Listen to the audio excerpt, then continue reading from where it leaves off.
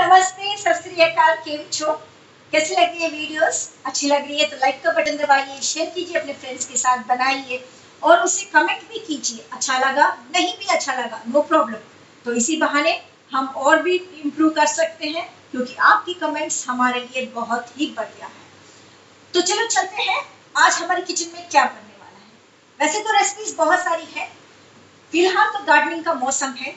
Gardening के लिए right temperature right sunlight है तो इसी टाइम पे अगर आप ग्रो करते हो तो आपके फल और फूल बहुत उगते हैं। वैसे तो मैं चाहूँगी कि आप सभी दो पौधे अपने घर में, दो छोटे पॉट्स भी आप रखते हो, जैसे अरबी का और पान का। इन दोनों की ही ज़्यादा मेंटेनेंस की ज़रूरत नहीं है, और इन पौधों से बहुत ही बढ़िया डिशेज बनती हैं, जो मैंने अपलोड की हुई है। भले वो अरबी क्यों ना हो और पान क्यों ना हो। ये मेंटेनेंस लेस और पूरा पेड़ यूज़ भी हो जाता है।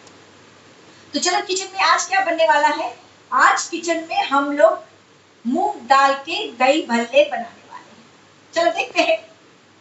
चलो चलते हैं हमें इसके लिए मूंग दाल की चीज़ों के लिए क्या क्या चीज़ें चाहिए। ये है मूंग की दाल। मैंने रात को भिगोई थी और देखिए, एक ही दिन, अभी एक दिन भी नहीं हुआ, कितने बढ़िया से स्प्राउट्स हो गए हैं। कितना बढ़िया लंबा स्प्राउट हो गया। इसका एक टेक्निक है। आप रात को भिगो दीजिए, बहुत पानी नहीं, जैसे नॉर्मल पानी भर के, और ये ऊपर तक आ जाएँगे, फिर इसका पानी निकाल के इसके ऊपर ढक्कन दे दीजिए। और बाई शाम को इसके स्प्राउट्स इतने बड़े हो जाएँगे। तो मैंने रात को भिगोए थे, और ऑलमोस्ट एक दिन भी नहीं हुआ, इतने स्प्राउट्स हो गए हैं। तो चलो, आज हम स्प्राउट से ही मूंग दाल के स्प्राउट्स कितने हेल्दी होते हैं। तो इसके लिए हमें क्या क्या चाहिए? मूंग की दाल, प्याज, हरी मिर्च अदरक और हमने एक टुकड़ा अदरक का एक्स्ट्रा और दो मिर्च ली हुई है और थोड़ी सी हिंग लेंगे। ये सभी पार्ट वन में आप फॉलो करते रहिए। पार्ट वन में पकोड़े हैं। सेम थिंग ये सेम बैटर होगा। पार्ट टू में आप देख सकते हो कि चाट आइटम है। पार्ट थ्री में दही पल्ली। तो चीज़ें सिर्फ़ यही होंगे। हम क्या करेंगे? ये मूंग दाल को अदरक और दो हरी मिर्च के साथ फाइन पेस्ट कर लेंगे। चलो देखते हैं। तो चलो देखिए, हम लोगों ने ग्रीन दाल को पेस्ट कर लिया है। और फाइन नहीं रफली बहुत फाइन भी नहीं, बहुत कोर्स भी नहीं मीडियम और अभी हम इसमें डालेंगे वन स्पून बेसन बाइंडिंग और टेस्ट के लिए बिग स्पून और वन स्पून राइस फ्लावर ये भी एक बाइंडिंग का काम करेगा। अगर आपको लगे कि आपके फ्लिटर्स या पकोड़े टूट रहे हैं तो आप बेसन और राइस फ्लोर इंक्रीज कर सकते हो। तो पहले जब भी आप पकोड़े बनाओगे प्लीज़ टेस्ट थोड़ा सा छोटा सा बना के देखिए।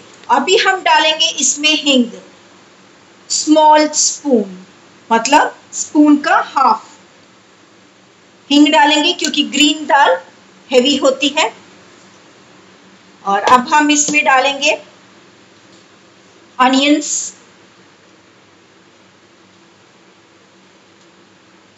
थोड़ी सी अदरक। और थोड़ी सी हरी मिर्च। ग्रीन चिलीज आपके टेस्ट के अनुसार। और अब हम डालेंगे नमक। अब हम डालेंगे सॉल्ट सॉल्ट टू टेस्ट हम लोग मिक्स करने के बाद देखेंगे। थोड़ा सा जीरा ऑप्शनल वन स्मॉल स्पून अजवाइन it's a quarter spoon mix करके और just two pinches of baking cooking soda cooking soda to make it soft क्योंकि हम लोगों ने राइस फ्लोर ऐड किया है और सॉफ्ट एंड टेस्टी के लिए definitely you need cooking soda नमक ऐड किया है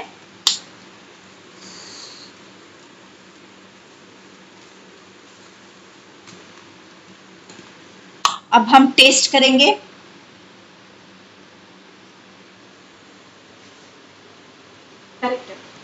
Before making pakoras better to taste क्योंकि उसके बाद हम लोग नहीं निकाल सकते। तो ऑलवेज कीप टेस्टिंग तो अभी करेक्ट है। A very important tip if you are making fritters please do add one or two spoon of suji, that is semolina to make your fritters crispy from outside and soft from inside.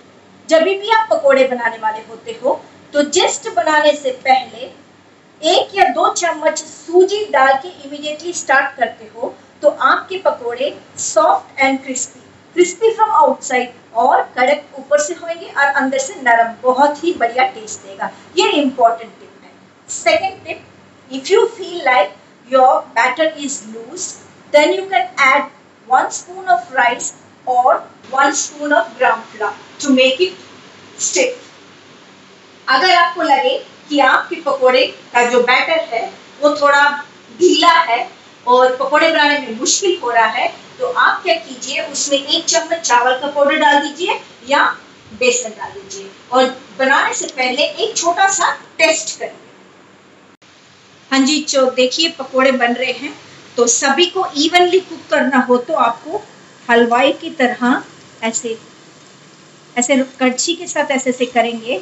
तो सभी evenly roast और इनको बहुत ही crisp करना है। तभी इसके अंदर का भी टेस्ट आएगा। ये ज़्यादा क्रिस्पी होनी चाहिए। तो इवनली सारा कलर आएगा। तो अभी हम पकौड़े निकाल देते हैं। अच्छा क्रिस्प होना चाहिए, तभी इस मूंग दाल का टेस्ट आएगा। अच्छा क्रिस्प राइस फ्लावर डाला है। जब भी आप राइस फ्लावर डालते हो तो ऑयल कम चूसता है। ऑयल ज़्यादा नहीं यूज़ होता। तो that is why you have to use rice flour technique है। और पकोड़े बनाने से पहले थोड़ा सा सॉल्ट इंसर्ट कर देने से पकोड़ों का टेक्सचर और टेस्ट बढ़ जाता है। तो देखिए, इसमें आपको ऑयल नहीं दिख रहा। है ना? बिल्कुल ऑयल नहीं है। तो ऐसे आप राइस फ्लोर टेक्निक यूज़ करोगे तो आपको देखिए, बिल्कुल ड्राई है। तो rice flour is only the technique बिल्कुल थोड़ा सा ऐड करना यानी कि you can add three four spoon just two spoon क्या करेंगे? पकोड़े तो बन गए हैं, मैंने इसे गर्म पानी में थोड़ी देर सोक किया। ये पकोड़ों को हॉट वाटर देखिए, पानी में हॉट वाटर में एक टेन मिनट्स रखा। अब हम क्या करेंगे? पहले तो दही को हमने फेंट दिया।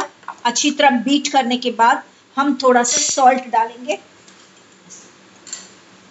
सॉल्ट डाला। सॉल्ट को हम लोग बहुत ज़्यादा सॉल्ट मत डालिए फ़र्स्ट में, नहीं तो निकाल नहीं सकते। कम डालो कभी भी। और उसके बाद हम पहले थोड़ा सा टेस्ट करते हैं।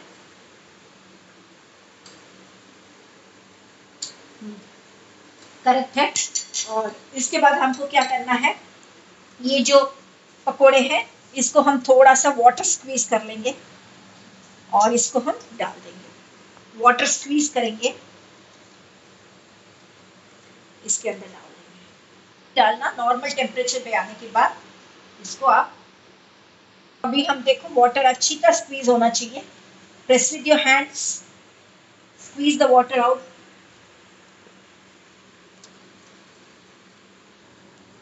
तो अभी हम क्या करेंगे? इनको सबको अच्छी तरह डिप कर देंगे। और एक टेन मिनट्स के बाद सर्व करेंगे। और इसको अच्छी तरह डिप करिए और इसको फ्रिज में रखना है ठंडा थोड़ी देर। और इसके बाद हम क्या करेंगे? इसका डेकोरेशन। मैं हमेशा डेकोरेट कर रही थी तो मेरे हस्बैंड का ऑब्जर्वेशन इतना क्लियर है तो उन्होंने बोला, रजनी, कॉलम जैसे क्यों नहीं डालती? वो चाहते थे कि मैं ऐसे डालूं।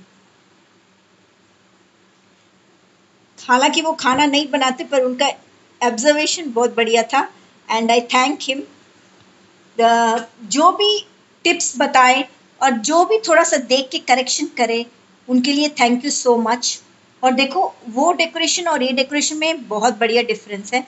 तो आई थिंक सो ये देख के बड़े खुश होंगे मेरे हस्बैंड वो चाहते थे कि मैं डेकोरेट जो डेकोरेशन होता है, उसका भी एक प्रॉपर मेथड हो।